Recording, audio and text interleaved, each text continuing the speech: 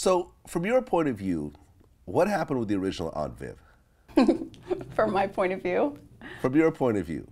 Um, I, I mean, I, I don't think you're the one that made the decision, but from what you saw, what exactly happened? From what I saw, um, there was what? From what I saw, there was a contract. I mean, there's there's much more to it, and uh, and I certainly don't want to get into all the intricacies of it.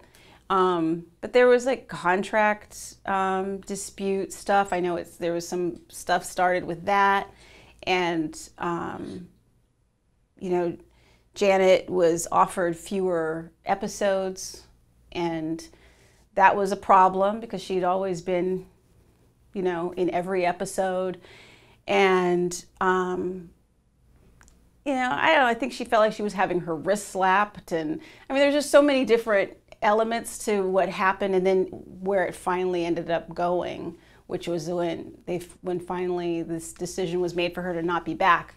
Um, I wasn't in any of the rooms when any of this stuff happened, so I don't know exactly. I've just heard all my different. I've heard different pieces of it. Um, I'm sorry that it's been as I don't know.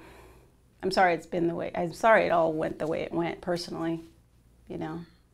I mean, did you see any issues between her and, and Will and, and Alfonso? Because that's some of the things that I. I, I know about. that's the stuff that I know. That's the stuff that comes up, and I've of course I've read I've read everything and heard everything that everyone said, but so I'm aware of it like everybody. Yeah. I mean, because it's really strange for a sitcom to just replace a character. It was really weird. it was. It was really weird. Like, here's your new mother. like, here you go. Yeah, yeah. Pretty much. It was, it was really strange. I mean, I don't think, and yeah, no one would disagree with that. It was a really, it was a really odd thing to to do. Yeah. You were really close with Uncle Phil. Yep. What were some of the the greatest memories that you had with, with James Avery? Oh, my greatest memories with James were uh, were not on set. I mean, I had a lot of great memories with him on set um, on set, on set, we had a lot of really funny stuff because you know we couldn't. Um, we had a hard time with um, eating scenes because uh, we had if we had to be seated. Ever since the first season, when my character was blackmailed and I had to bark like a dog and all this kind of stuff happened, and we got the giggles really bad. The whole cast got the giggles really bad at the table, and um, they got very frustrated with us because we could we were having such a hard time pulling it together. And but it was one of those things where once it happened, it started to happen all the time. Whenever it would be like a dinner scene and we were all seated, we'd look at each other and go, "Oh no!" You know, it would happen again where we get the giggles. And um, so I remember James from you know getting either frustrated or getting the giggles at the table. Um, I remember Will giving him a hard time about he dropped something on himself like see, there was food on the table, and Will would be like, "Don't eat the food! Don't eat the food, James!" Telling him that. He's like, "I wasn't eating the food," but then he had he got a soil a soil spot on his shirt, which was like this telltale giveaway that he had eaten the food. I'm sorry, it's funnier to me probably than anybody else. But we could not stop laughing because he kept saying he didn't eat anything and he started to get really mad but he had this spot. So it was like, he's like, it was water. It's like, it's not going away. anyway, getting the giggles over this thing. You had to be there. But James was, um, James was really such, our rooms were right next door for, God, were they always right next door to each other? And he played jazz music really loud, really loud. It was really good music all the time. And, um, and he, he, uh, he loved to just tell you about who he, about, who he was listening to and about other jazz artists and he he was just really generous with that. And he was such a generous person and a huge um, just such a good spirit. Um, I know I, I had a lot of fun with him outside of the outside of work like especially after the show went off too. Um, and we both lived in Silver Lake California we were neighbors. We bump into each other at the supermarket often because we go at the same time of day. And um, I don't know, he's just, you know, driving around looking for houses when I was looking for a house, him helping me look for a place. And spending time with him. I just, I loved him so much. I love him so much. He's just a really good, funny, fun, great guy. And I, he had a lot of influence, I think, on me to be doing um, uh, the Sweet Blackberry work that I do too. I think he's a, he was a big part of that. Yeah. When he passed, did you have any idea that he was having health problems? I knew he was having health problems, but it was still incredibly sudden. What happened was sudden. You know, I, yeah, every time I saw him, there was, he was having challenges, you know, and he was in a wheelchair a lot um, at that point uh, because of, yeah, you know, physical stuff going on. You know, but James was always, you know, from the beginning of the show, I was always frustrated with James and his health. You know, I was always chewing him out over something he was eating or smoking or something. You know, he was always, you know, he smoked, he ate, he ate sugar and, you know, all kinds of stuff that um, used to frustrate me. and I would get on his case about stuff. Although he was in the hospital once and I brought him a, a burrito from some place that he really wanted, but um, that he liked.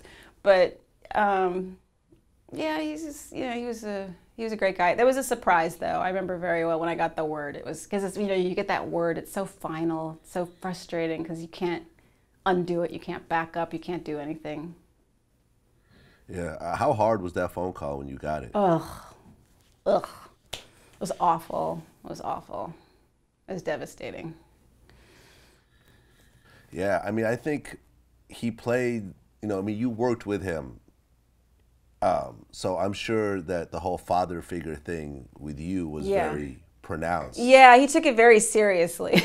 he always, you know, he always tell my husband, he always on my husband's case all the time, you know, um, about that. At our wedding, he just kept laying into him about that. But he was always, you know, he's playful, but um, he called me daughter. He used to call me daughter instead of calling me Karyn. He said daughter, da da da da da daughter, you know, um, which uh, I I got very used to. And he was, you know, he was very fatherly.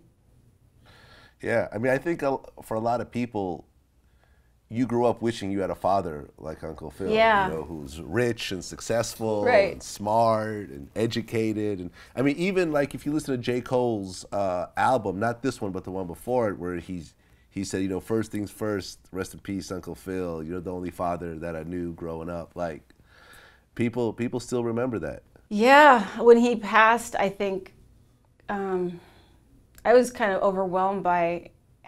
I didn't real. I mean, I guess I just hadn't thought of it that way. I, I was overwhelmed by um, the outpouring of love and um, and people just and condolences and so many people just saying he was like a father. He was. They thought of him like a father. Like that's the father I wanted. That was my dad. And uh, yeah, that I didn't think of it, but of course they did. Yeah, and he played your father. And he was playing my father. Yeah, yeah and I really, you know, I took it for granted. You know, I did, mm. but it was hard. I mean, I think when like when the show was over, I think that's one of those things that was hard about leaving the show. It's not just that you have so much fun with these people, but the relationships that you pretend for you know six years you're you're playing house with these people. You know, Alfonso was my brother. You know, we played this, and and you know James played my dad. You know, Tal was my my sister. Like we played these. You start to get used to that. That that's who these people are to you in a strange way. Like they really, Will really is my cousin, and I have this relationship with him. You know. So you take it for granted a little, and it's over. And it's it was hard walking off the set the last day. was so hard. Ugh. Really? How was yeah. everyone's mood on that last day? Uh, I don't remember. I don't remember. I I know it was all kind of it was very surreal and strange, and they had taken a lot of they took the furniture out because that was part of the show too. So the so the room was the family room was empty. It just felt really weird. And I, you know, I remember having to walk out, and I kept thinking, well, if I don't walk out, if I mess up my line, if I just keep messing up, then I'll just extend it. And then I was so frustrated because I was a good girl and I said my line properly and I exited. And then it was like, oh, I wanted to run back in. but I didn't do that either.